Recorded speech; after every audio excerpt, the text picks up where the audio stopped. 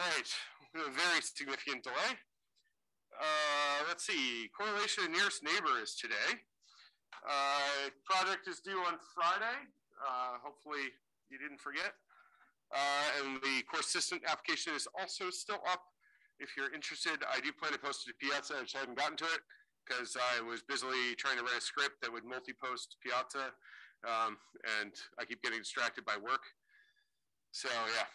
Uh, so starting off, today we will be talking about prediction, and uh, which is where we start, I think, getting into some of the really interesting stuff in data science. Um, you know, mostly we've been working on kind of mechanics thus far, uh, and now we're going to move into what can we do with it. so what do we mean by prediction? Well, usually we mean guessing the future. Uh, and obviously, the, if the information is complete, we don't need to guess, right? If we already know what the answer is, then there's no reason to uh, have to predict anything. So what we're trying to do is predict an outcome for an individual. Okay, and those are both kind of keywords that are important, uh, and uh, but I think we've talked about both of them before. Um, and so one way we can approach that is to find others who are like that individual and whose outcomes we already know, and then be able to make a prediction by saying, okay, um, you know, this person fits into this category of people who we know the outcome for, uh, and so then we can use that to model a new uh, a new prediction. So let's move to an example.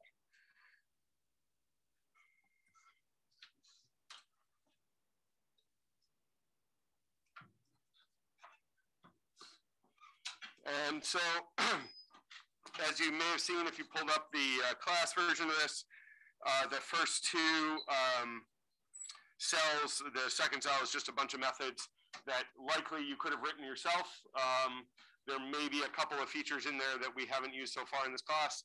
If we haven't used them, you don't need to know them. Um, or we will learn them, one of the two. Uh, and that's, so it's just helper functions that you can, you know, take advantage of if you like. so first we're going to talk about this Galton data, which I believe we've talked about before.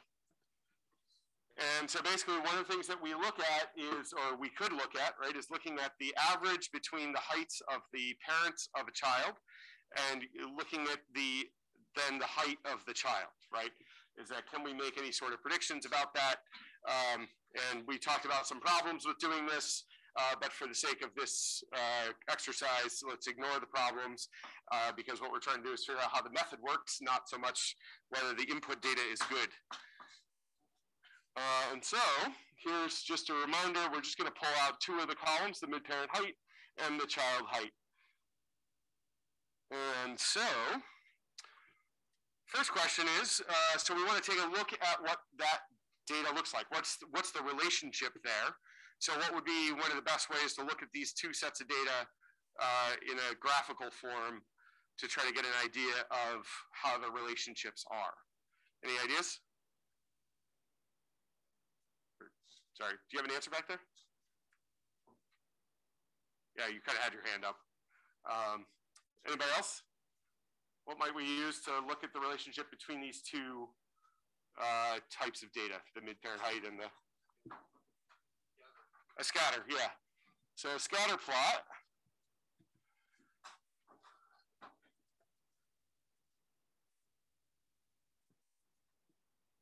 All right. And so we're going to tell it we want the scatter, we want the mid-parent on the uh, x-axis and the child height on the y-axis. And if you look at this, does anybody notice anything about this data? You see anything in there that uh, is kind of not pure kind of randomness? Any ideas? Do you have an answer?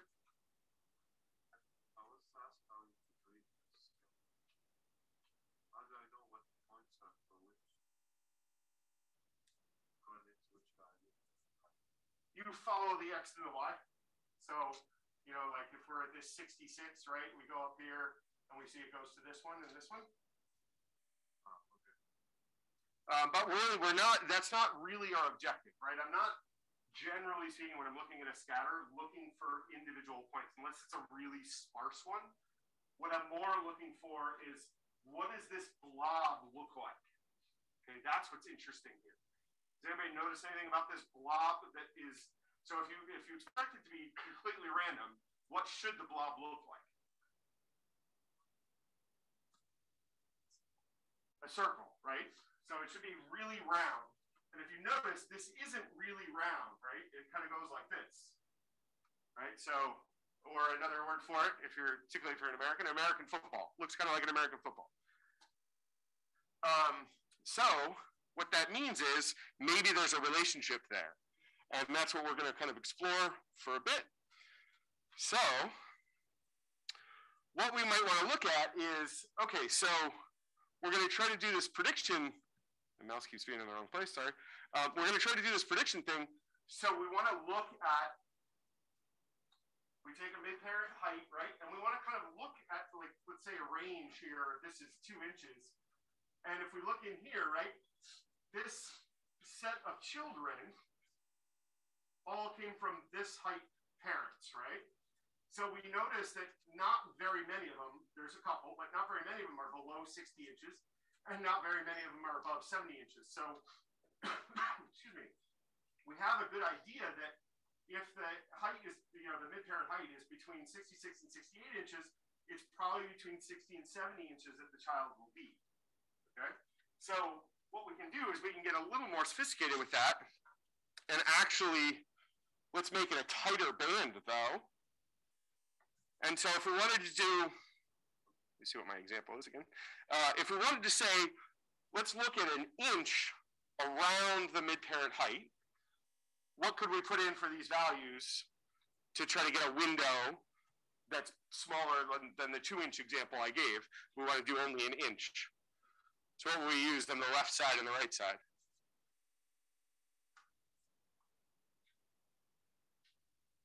All right. So what we can do is we can take the height minus 0.5, right? And the height plus 0.5. And that will give us an inch on either side, right? Because we just subtract half an inch and add half an inch. And then that's how we're going to get this group of close points. So basically that window there. And then what we can do is we can get the average height of all the children in that window. And theoretically, that might tell us about future children. Or we can have a typo. This in a paren. All right. So let's do, I'm just going to fill this in.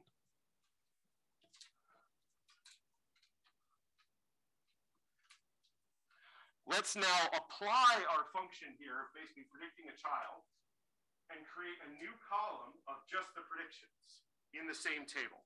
So now we can see, and actually let me just print it.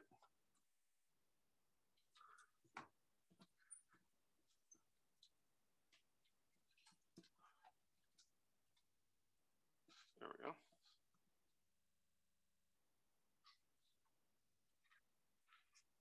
Okay, so now we can see we have the mid-parent height and we have the child height, and then using the average around the mid-parent of child heights, we can predict that you know some other kid of this mid of this set of parents is going to be about 70 inches tall on average, right? So instead of that, why don't we graph that so that we can see something a little nicer? And we can do a scatter plot again, except this time we're going to put all three pieces of data in here. So I don't know how well you can tell from uh, in the back, whatever, but these yellow, this yellow thing is a bunch of dots, right? So this is all the average height. So, you know, if you take 66 again, and you said 65 and a half inches tall to 66 and a half inches tall, you take these, I think, do I have a graph? I might have a picture that shows this better coming up. No, not yet. But if so, if we take those and we can see that there's maybe some sort of relationship here, right? And so we notice that our football here goes kind of like this, Okay, and then we're starting to get maybe some sort of a line that goes across as well. Yeah. Out of curiosity, why are there three colors for the dots, but only two in the um, in the key? There's only two colors of dots. They're blue and yellow. It's very, at least for me, there's light blue and dark blue to black. It's just uh, it's a trick of the yeah, it's a trick of the, the thing. We know there's only three columns, right? So we have one column, one column, one column. So we have three columns. Interesting. Yeah. Do you take the take half of the item are between divided between half minus half and plus half is that because if you round it it will go like it's five point five until Six and a half. Or yeah. It would be back to. Uh, yeah, it's a little bit arbitrary. I mean, it would also like if I average it out, I could also do it with you know two inches on either side, right? It'll still average out to be the same. What we want is a small enough window that the prediction is going to be as close as possible, right? But we want a big enough window that we have enough data points to be able to make a prediction. Make sense? So it's a little bit arbitrary. You gotta, it's a bit of feel. Um, and probably we'll get to in this lecture, we're going to talk about how do we check the error. And so therefore, once we know what the error is, then we can say, oh, maybe we should make it a little bigger, maybe we should make it a little smaller, and we can kind of compare the errors. Any other questions? All right. I will go back to the slides in theory.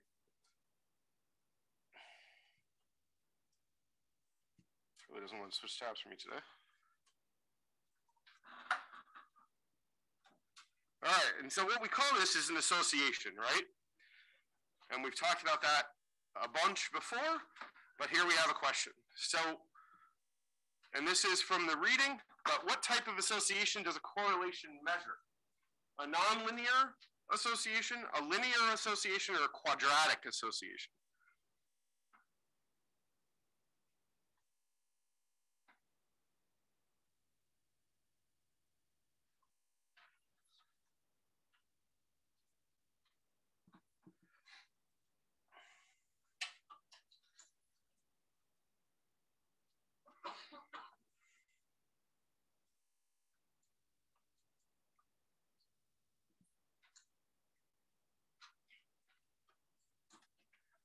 All right, get those answers in.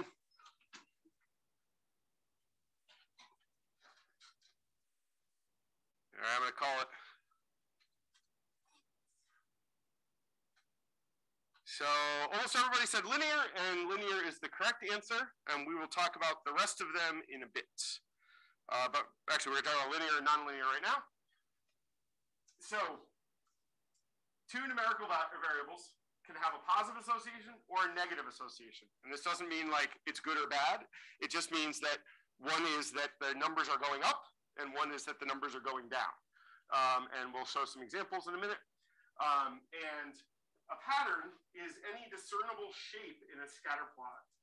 Uh, and so that's one of the things we want to look for. So if it's, as you, somebody over here kind of said, right, if it's perfectly round, there's probably not a lot of relationship there. But if we're seeing a football that kind of is shaped, you know, going up like this, that would be a positive association. And if we see one that's kind of going down, that's a negative association. So as one, you know, basically as one goes up, the other one goes down. Um, and so most of what we're going to talk about for now is linear relationships. And anybody know why we might want to talk about linear relationships versus nonlinear? Mostly just because they're really common and they're relatively easy to apply various functions to. So there's lots of different tools we have with linear relationships, whereas nonlinear relationships get more complicated, as you might imagine. So one of the things I like to clarify here is when we say linear, what we mean is a straight line, okay? Even though if you think about like a curve, right, that's a line too in the colloquial sense. But when we talk about it in terms of like mathematics or computer science or whatever, what we mean is a straight line. Okay, so that's what we mean by linear versus nonlinear, which is like a curve or a wave or something like that, is nonlinear. And we just got to have those two big categories, mostly because linear are, are relatively straightforward and nonlinear get much more specific depending on the type of nonlinear they are. Um, and then, so as we often do, right, is that it's often easier to solve a lot of these types of problems if we kind of make some sort of picture and use, you know, kind of use our eyeballs to get a, a sense of the data, and then we actually try to quantify the result. And now we'll show a demo of that.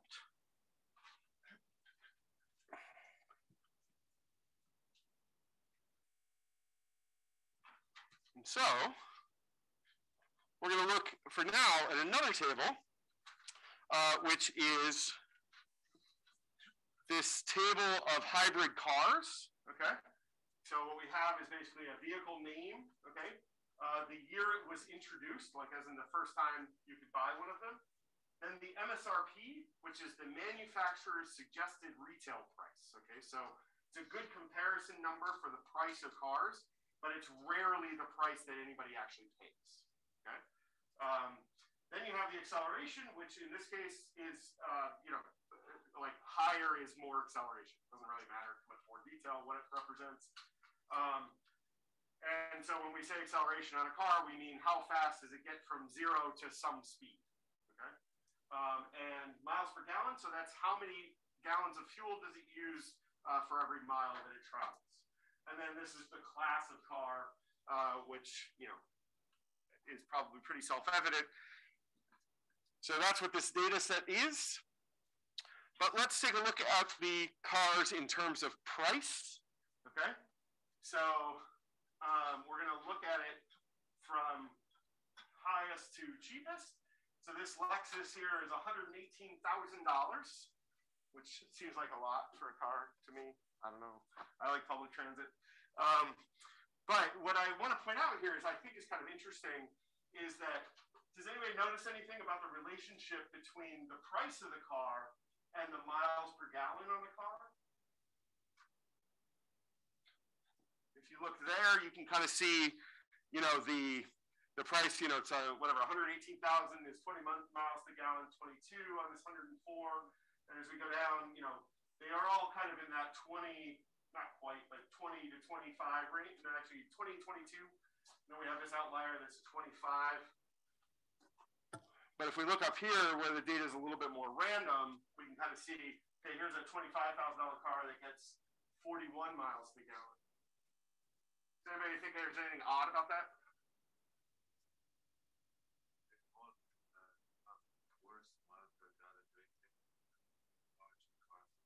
So larger cars or more expensive cars tend to have worse miles per gallon. Um, but like this minivan, right, which is quite a big car, but relatively inexpensive at just shy of $40,000, still gets 40 miles to the gallon, right?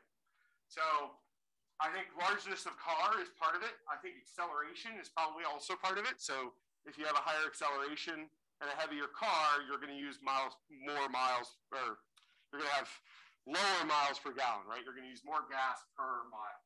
Um, so high acceleration compared to this minivan, right? This is an eight, that's a 17. So what we can do, if we're not seeing those directly in the numbers, is we can try to lay it out, okay?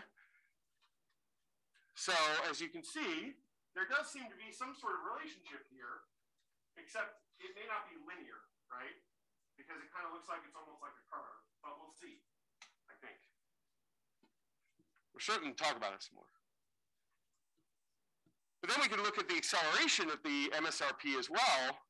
And as you can see, it looks a lot like this is another one of those footballs, right? Where as the acceleration goes up, so does the price of the product. Right? As you can see, there's kind of looks kind of like maybe there's a line going through here, right?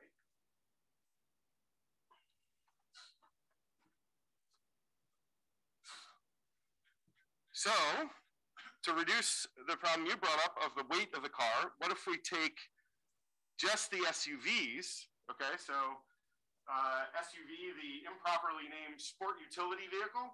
Um, I still don't understand. I think it was supposed. To, I think it's a marketing term basically because it doesn't really indicate very much about the style of car. but you know, if you're unfamiliar with them, relatively big, usually four door, um, often based on a truck frame, so they don't get real good gas mileage. Um, but so we have 39 of them in this data set. So why don't we look at them and the acceleration MSRP.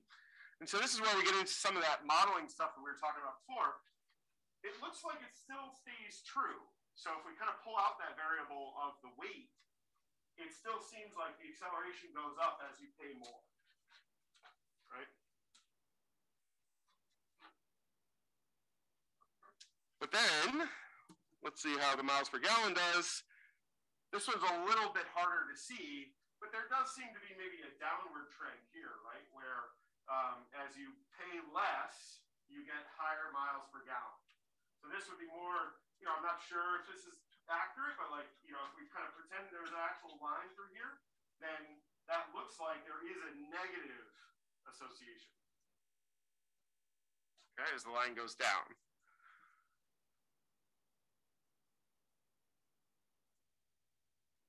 However, in order to solve many of these types of problems, we're going to use a, a, particular technique called nearest neighbor. But in order to do that, it's much, it works much better if we do it with standard units. So the first thing we're going to do is create a little method that will calculate standard units. Does anybody remember how to calculate standard units? Like what the formula is?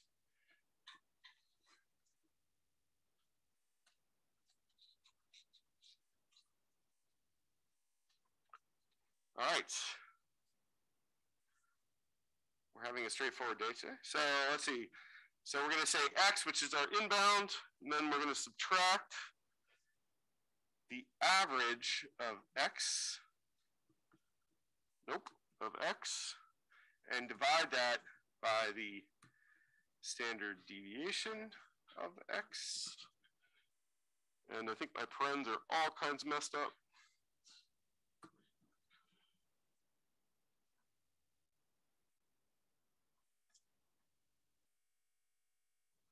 Spacing's not great either. All right, so now we have this little function that will take um, our array and convert it to standard units. So now we can do that with the SUV table on our miles per gallon and our MSRP and compare those two things, but in standard units. So now we can see them kind of, here's our, our new scatter plot, but we shifted it so that it's all around zero and all around zero which will simplify many of our operations later. Okay, then we can do one more. Um, and this would be the acceleration and the MSRP, getting those to standard units and just, again, distributing them around the zero here uh, so that it's easier to calculate from as we try to do some of these techniques.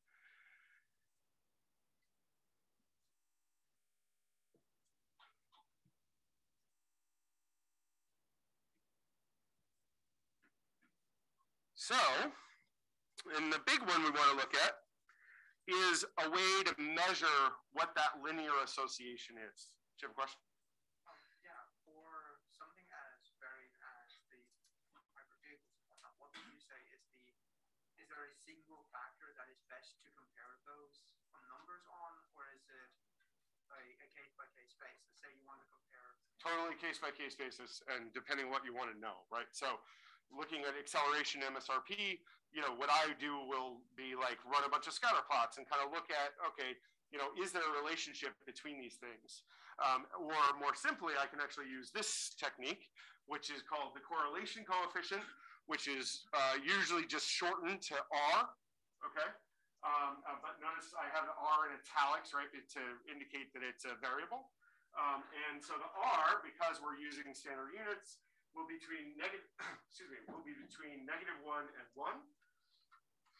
And so a one, so R is a one, it'll be a perfect straight line sloping up.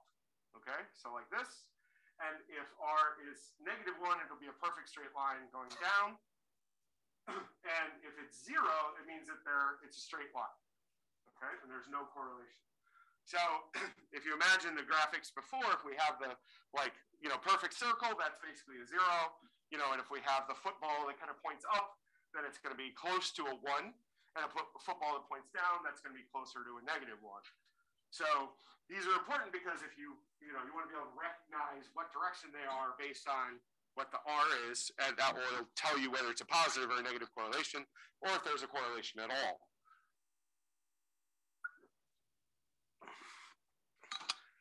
so this gets us to one number that kind of helps you solve the problem. All right. So going back to this, sorry.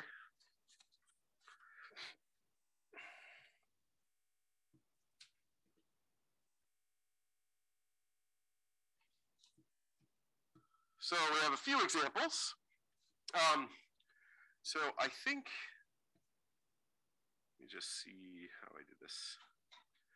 Yeah, so basically I just wrote a method up at the top uh, that will actually visualize the scatter of the various R values. And so you can kind of just type it in.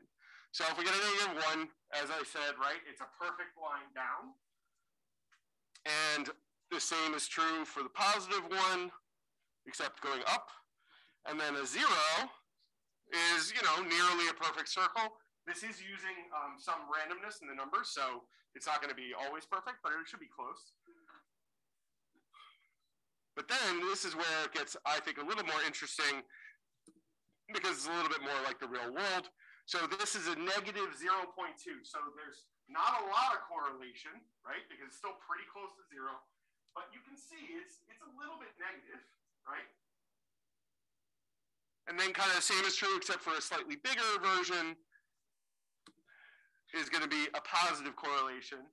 Um, and this one closer to being a, a straight line, but it's definitely much more clearly going to be a positive correlation there. And then we go back to the slides. I didn't realize there was so much jumping between slides and demo today, but here it is. All right, so how do we figure out what the R is? It's the average of the product of X in standard units and Y in standard units. And then because what you do when you read math right is the steps start at the right end of the sentence and go to the left, okay? So the first thing you do is get Y in standard units, then you take X in standard units, then you multiply them together, okay? Or I'll multiply the standard deviation, sorry, of the X and Y and then the average of the product of those numbers. So because you've got a whole set, right? So that measures how clustered the scatter is around a straight line. And we will show you the math for that because it'll be simpler, at least I think it is.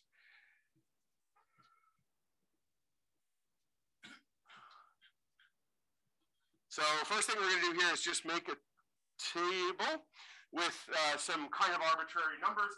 They're not that arbitrary because I want to show something specific, but you know, it's just two tables with an X and a Y, or sorry, two columns with X and Y.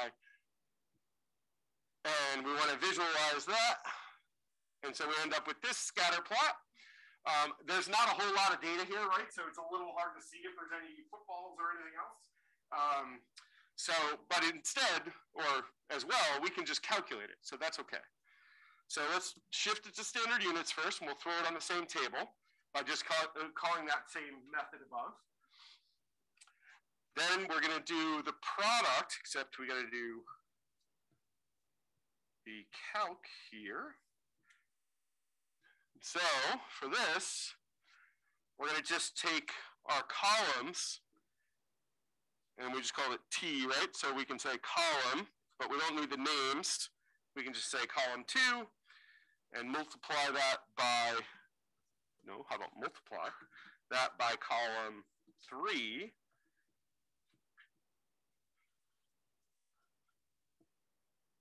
And we'll end up, oops, I knew there was something wrong with it. Oh, prime. Now we just have a new column, and obviously I'm just doing these step by step by step so you can see how it works. Uh, when you're, you know, kind of using R later, you can kind of crash all this into one step. But so the first thing, we get our x's and y's, then we convert them to standard units, and then we take the product of the two sets of standard units.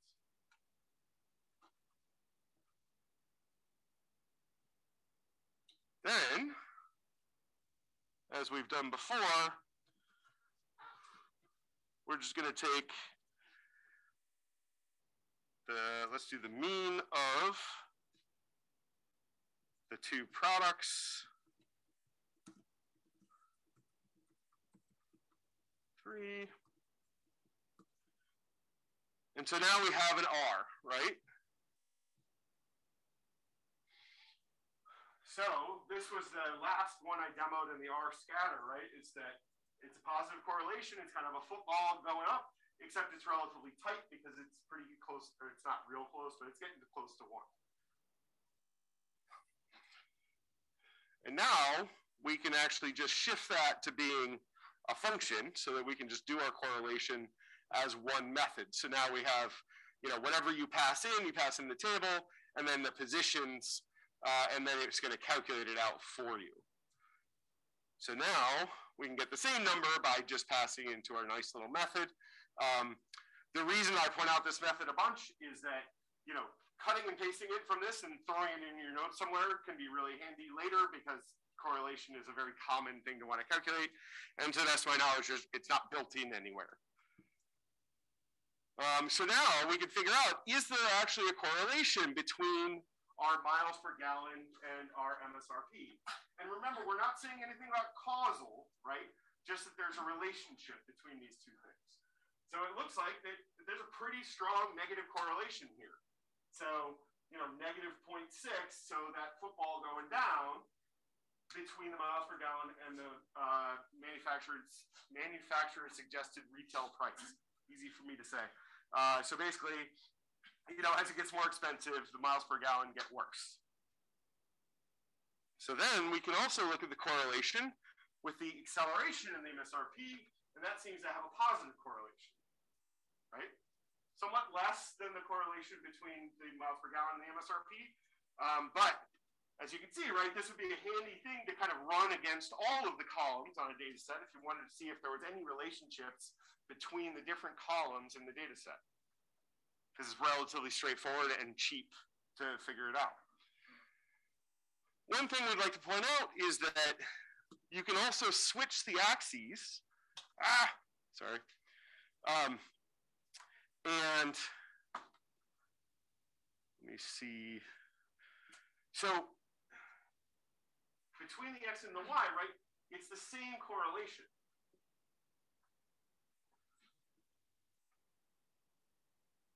And we can scatter it out, but we just switch the x and the y. And so it doesn't really matter which approach you're going from because the correlation will still be the same. Does that make sense? So so even though the relationship is kind of inverted, the um, like it still holds, right? There's still a correlation, which maybe is obvious to everyone, but I just pointed out because I'm not sure it was obvious to me. So, all right.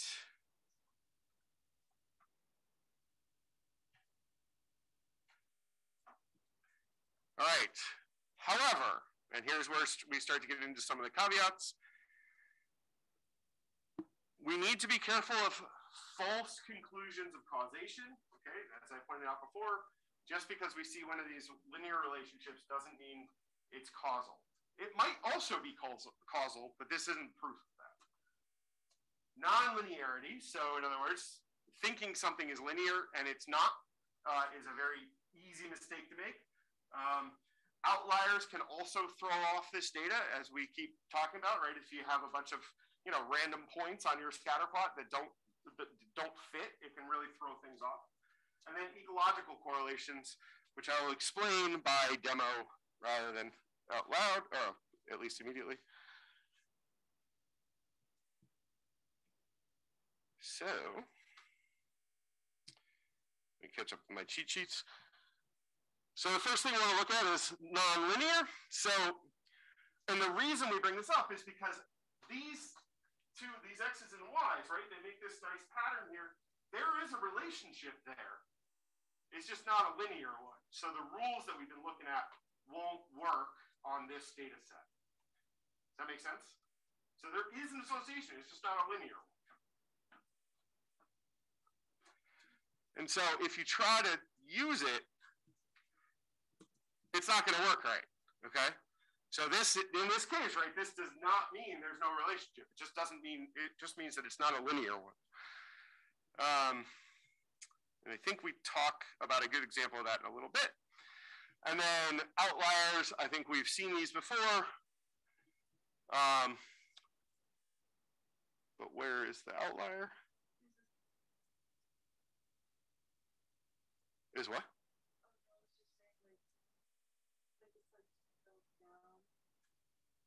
Oh, I don't know. All right, so this one is a. Oh, sorry, sorry. Yeah, I forgot what my slide looked like here. Okay, so this is a perfect line. So in other words, it has a correlation of one. So there are no outliers here, but with nearly the same data set, but we introduce one more point. So we introduce this five zero at the end there, which is that red dot down here. Now we try to run a correlation on that and it just kind of completely blows it up, right? So you got to be really careful about outliers. Basically, it's kind of uh, generally speaking, it's like if you if you have it's the number of outliers kind of in relationship to your main data. So in other words, we only have five points here, and one of them is an outlier. It's going to have a pretty big impact. Whereas if we had 2,000 data points and we had one outlier, it's probably not. That makes sense?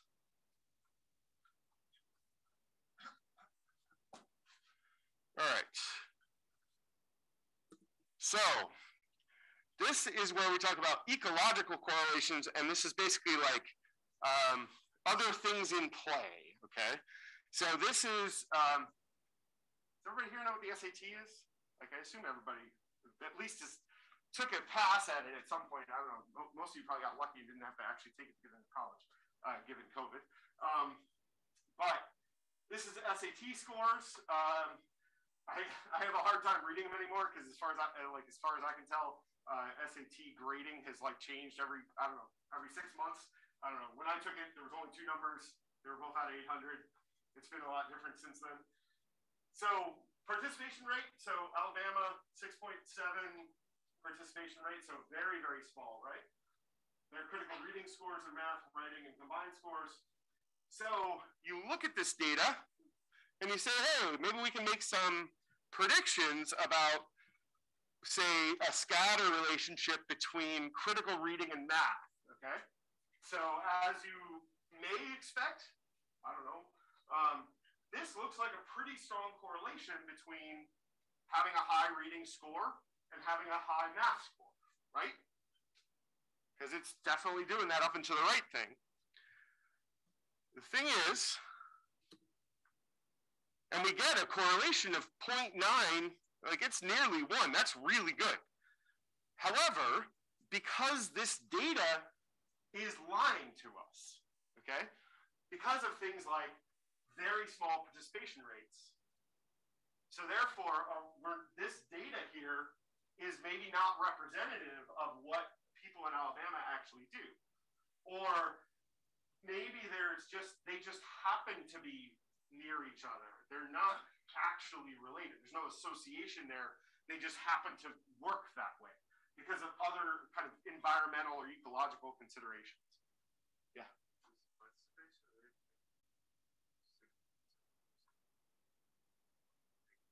Of the of the eligible, right? Like, you know, there's not a lot of retirees who are taking the SAT. They're not counted either. Um, this is 6.7% of, let's say, 18 year olds took SAT, the SAT in Alabama in 2014. Um, so, so there's there's basically this this other data element that may be throwing off any kind of conclusions that we could make here. So, for example, if we took this, you know, this uh, association, we try to make a prediction, and we did it in Alabama, it might be wildly wrong because our data set is actually really small for for Alabama, right? So we don't we don't have a good idea of what's going on here because not all of these rows are really comparable.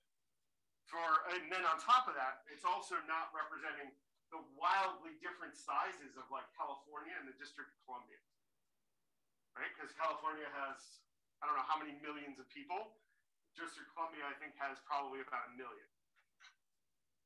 So you've got to consider where, you know, kind of the context of your data before you start to draw conclusions um, that seem really obvious, but may not actually be.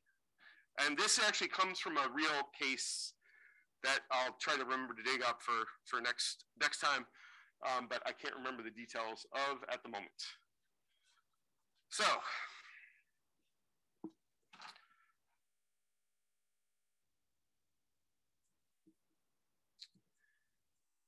here are some pretty pictures. All right, so if you look at these two, God, it's fuzzy. Um, which is higher value of R? Excuse me, this graph or this graph, and I think the way I set it up is you touch the one that you think is the higher one. And assuming that my drawing also reflects where you touch it.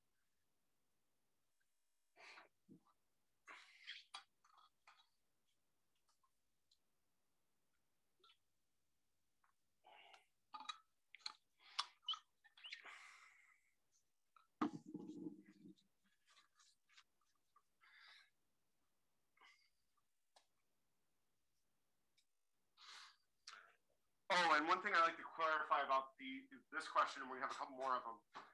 So when I say highest value, right, not the highest like number, but the highest number on the number range. So if it's negative, then it's going to be lower than a higher number. Because that is definitely a trap I would fall for. All right, get those answers in. Pick one. Do we have a lot of ghosts today?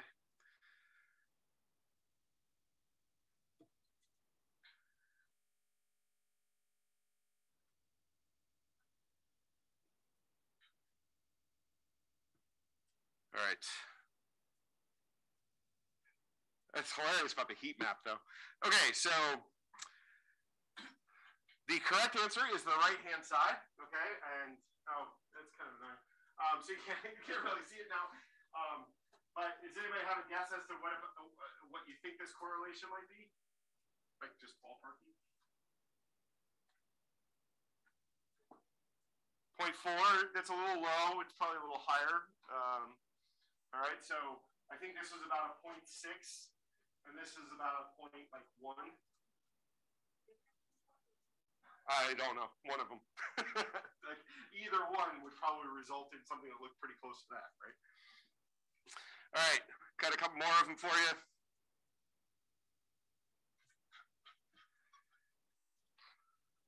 All right, so which one has the higher value of R?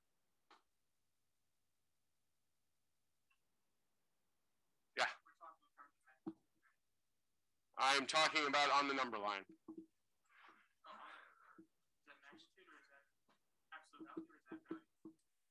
Uh, I'm talking about on the number line.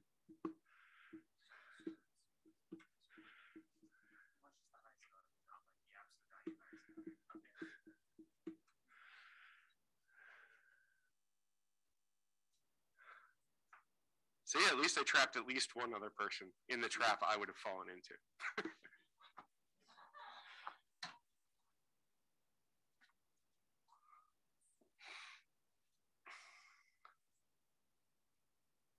All right, get those answers in. All right, I'm calling it.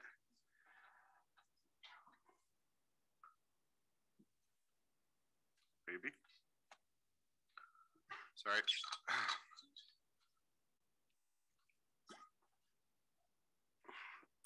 All right, so why is the left picture incorrect? Why is this one incorrect?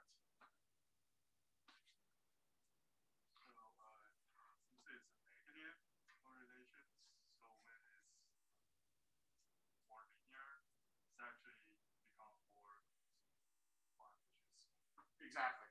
And to your earlier point, right, we're not talking about the absolute value here. We're talking about the actual number.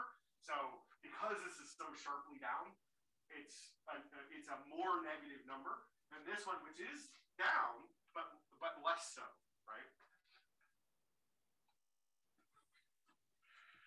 All right, another one. Let's see what we got. They start getting trickier.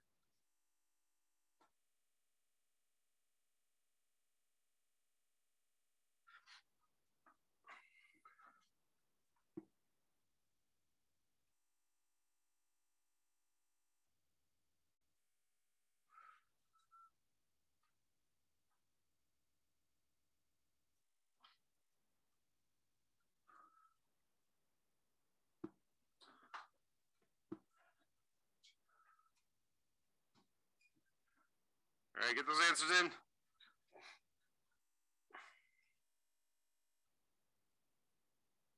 Last chance.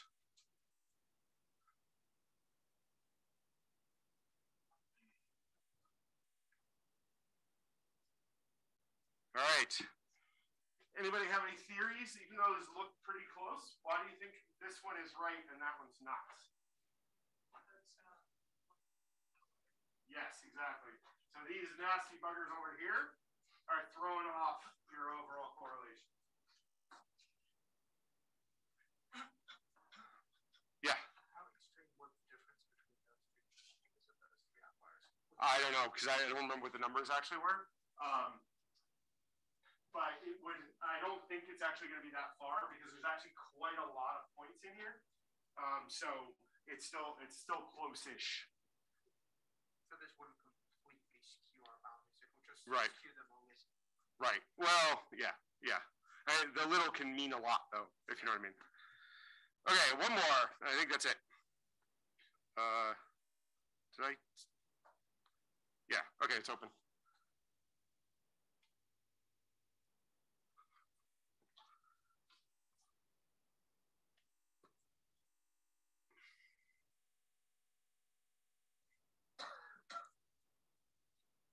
And remember, we're looking for the highest number on the number line, right? Not absolute value.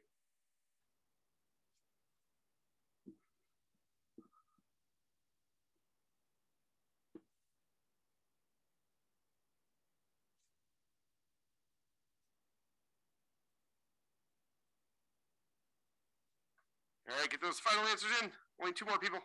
See if they're ghosts. All right, last chance. All right. All right, so anybody have a theory about why the, the right one is correct?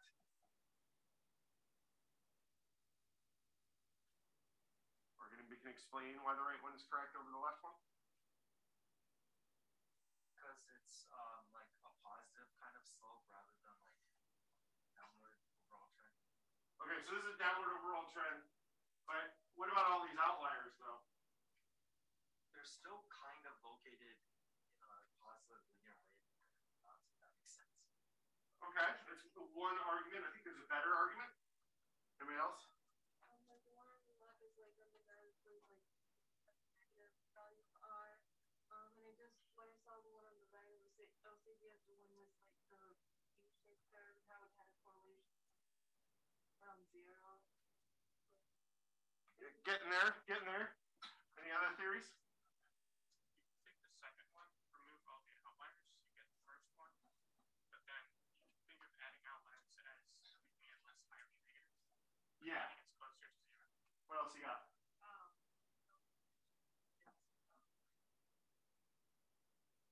Yeah, so so this is actually closer to zero. Okay? And these outliers are kind of throwing they're meant to throw you off. But if you notice, they're actually relatively in balance with each other. So it's actually kind of keeping it still near zero.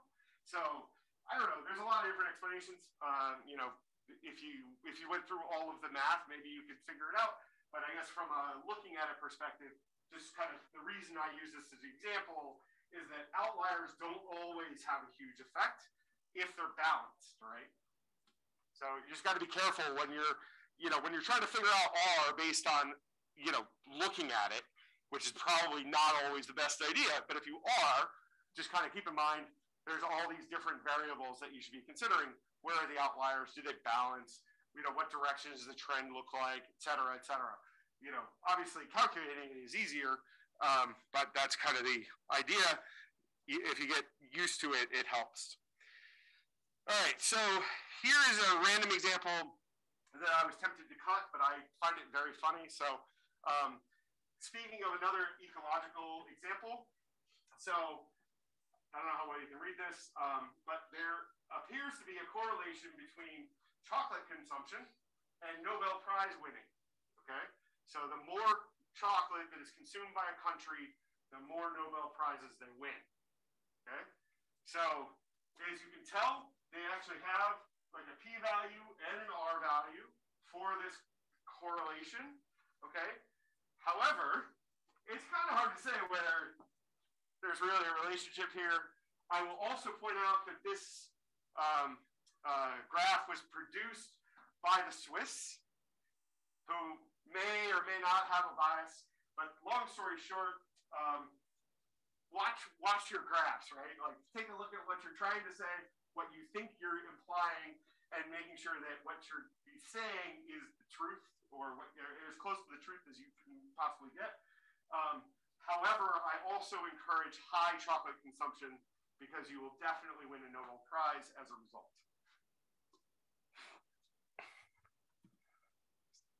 All right, so going back to prediction, and of course, my probably not the first bad joke of the day.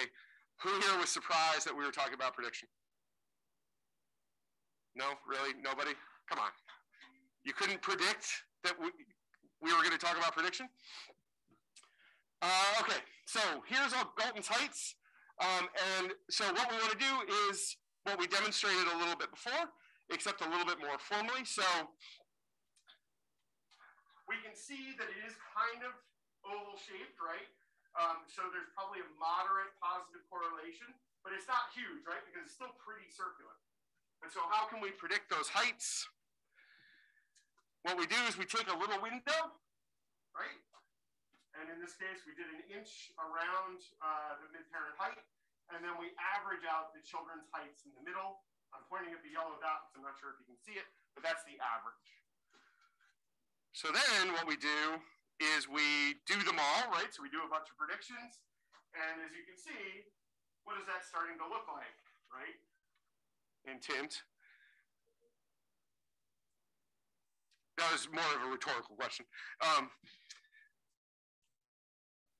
but what we end up with is, I feel like I missed a, jumping back to the code for a second, but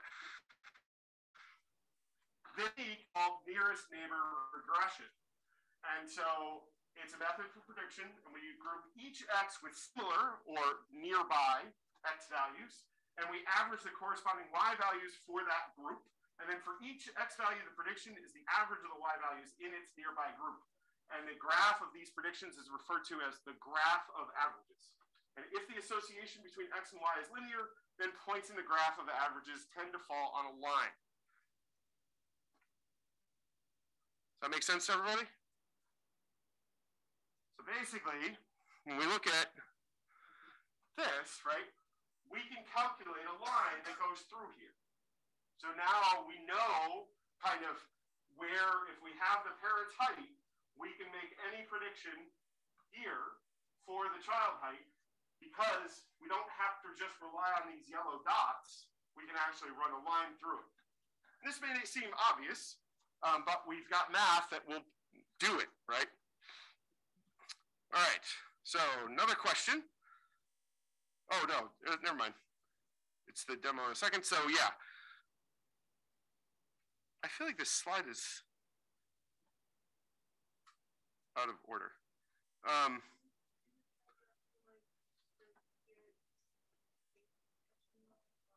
no, so this is unrelated R. I feel like it's out of order. That's why maybe I'll just skip it for now. Um, but we will talk about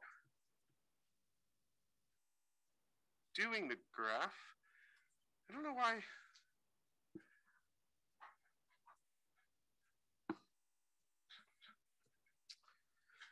So we can talk about prediction lines quickly because we only have 15 minutes left.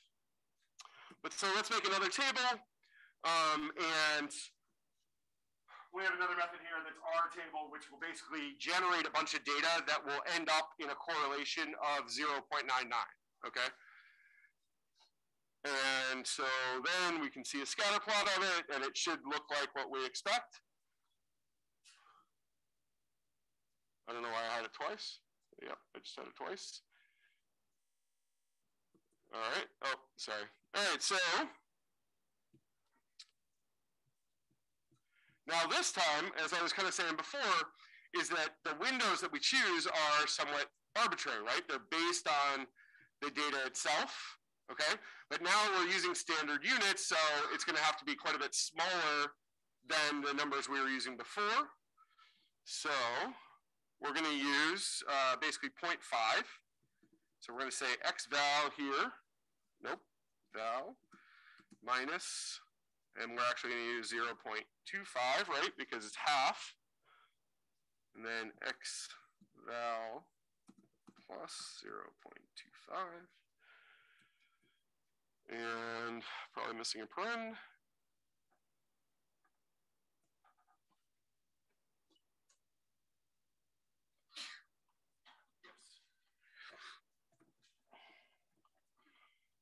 All right, so using our kind of little arbitrary data set here, we can now predict for negative 2.25, so here-ish, that what the value will be on the y-axis. And that looks like it's going to be negative 2.14, so about here, give or take, ish. Seems a little high, but I believe you. So then using the apply function again, and this is this apply function is important. You know, you're gonna you're gonna need it, so just kind of get used to using it. And so now we're gonna apply our new little method there to uh, create a new uh, column of y's. And now we have all of our predicted y's, which are this yellow set of dots on the blue dots. But now we can draw a line based on the data that we have. So in this case, it's a very simple case, right? It's nearly 0.99, right? So we can actually draw a line of slope one and we'll actually get really close because it's the correlation was 0.99, right? So, but if we try and do the same thing with a correlation of zero, that gets less useful. Why is this taking so long? Do, do, do. All right, so there's our predicted values, right? So they're just kind of in the middle, right? We don't, we're not seeing a whole lot uh, that we can actually use based on this nearest neighbor technique because there's no correlation.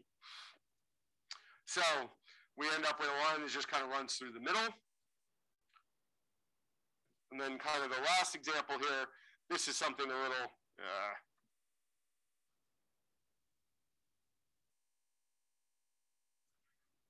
so this is pretty clearly our football kind of going up, but we can do the same thing and get to our line prediction.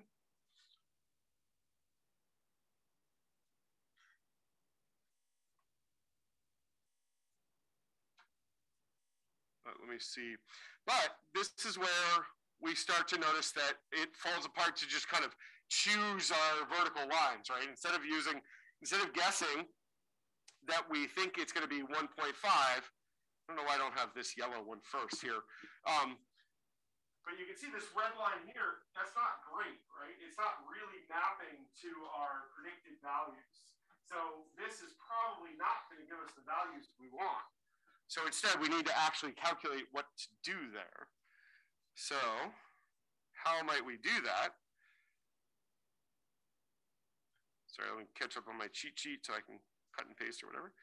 Um, so we might want to have a line that is closer to that.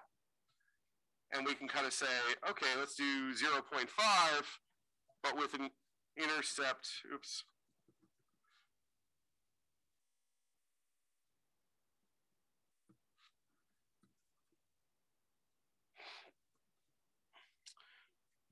why is this happening?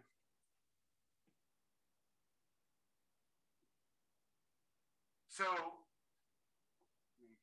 sorry. So we can get closer to the to the line, right? Our original guesses were just kind of straight up and through, and we can just kind of still make better predictions along these lines. Um, and we'll talk more about I think it's maybe a little bit on the next slide, um, but we'll talk more about like how we can create those lines uh, you know, basically how can we make the predictive line so we can use that to predict things about unknown data. Let me switch.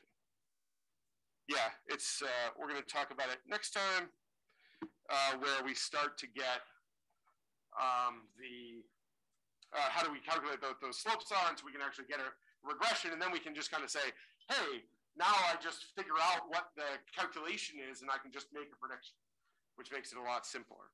Um, and then hopefully we'll get to some of the more advanced uh, techniques for that uh, in the next couple lectures before we get to the end of the semester. Any other questions?